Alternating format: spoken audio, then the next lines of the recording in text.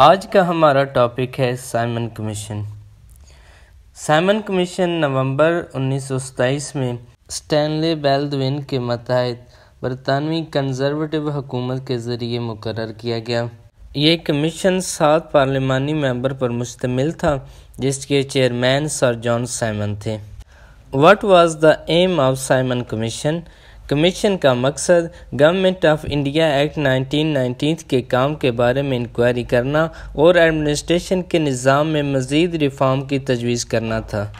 What was the background of Simon commission number one dyarchy system जो act 1919 में मुतारफ़ करवाया गया था, साथ वादा किया गया था कि 10 साल के बाद एक कमीशन बनाया जाएगा, जो इस सिस्टम के वर्किंग एंड प्रोग्रेस को जांचेगा। नंबर सेकंड इंडियन अवाम और लीडर डियारकी फार्म और गवर्नमेंट में रिफॉर्म चाहते थे Simon commission first time India February 1928 and second अप्रैल उन्नीस में आया why was Simon commission boycotted Simon commission का बाइकाट क्यों किया गया मुस्लिम लीग दो धड़ों में बढ़ चुकी थी। एक धड़े के लीडर मोहम्मद अली जना थे और दूसरे के सर मोहम्मद शफी। सर मोहम्मद शफी ने गवर्नमेंट की सपोर्ट की, जबकि मोहम्मद अली जना लीग ने इसका बाइकाट किया। साइमन कमीशन का कांग्रेस ने भी बाइकाट किया। कमीशन में तमाम ब्रिटिश मेंबर थे। एक भी इंडियन नहीं था। इस वजह से इंडियन ने इसको इंसल्ट समझा और कहा कि ब्रिटिश लोग इंडिया की किस्मत का फैसला नहीं कर सकते। जैसे ही कमीशन फरवरी 1928 में इंडिया पहुँचा तो हर तरफ़ इसके अगेंस्ट प्रोटेस्ट किया गया, एहतजाज किया गया। इस प्रोटेस्ट में जैसे जैसे इजाफा होता गया पुलिस ने इसको कुचलने के लिए लाठी चार्ज का इस्तेमाल किया। लाहौर में लाला लाजपत राय लाठी चार्ज की वजह से शदीद ज़ख्मी हुए।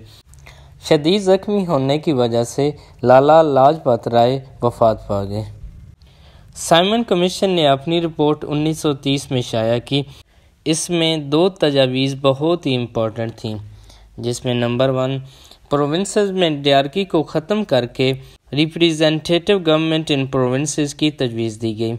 और नंबर सेकंड इस रिपोर्ट ने सिफारिश की कि फ़िरका वाराना कशीदगी के ख़त्म होने तक सेपरेट कम्यूनल इलेक्टोरेट फ़िरका वाराना इंतबी हकों को बरकरार रखा जाए। और नंबर थर्ड 1935 एक्ट की क्यादत भी सैमन कमीशन ने ही की थी। सैमन कमीशन का इम्पैक्ट क्या हुआ? इसके असरात क्या हुए? नंबर वन साइमन कमीशन का बाइकाट करने के लिए इंडिया में बहुत बड़े पैमाने पर एहतजाज किया गया प्रोटेस्ट किया गया। कमीशन की आमद ने लीडरों और आवाम को जोश में लाकर हिंदुस्तानी तहरीक आज़ादी को एक हकीकी मैनों में तहरीक बना दिया। और इसका दूसरा सबसे अहम इम्पैक्ट साइमन कमीशन का नतीजा गवर्नमेंट ऑफ़ इंडिया एक्ट 1935 था, जिसने हिंदुस्तान में सूबाई सतह पर एक ज़िम्मेदार हुकूमत का मुतालबा किया, जो कि लंदन की बजाय हिंदुस्तानी कम्युनिटी के लिए ज़िम्मेदार हुकूमत थी।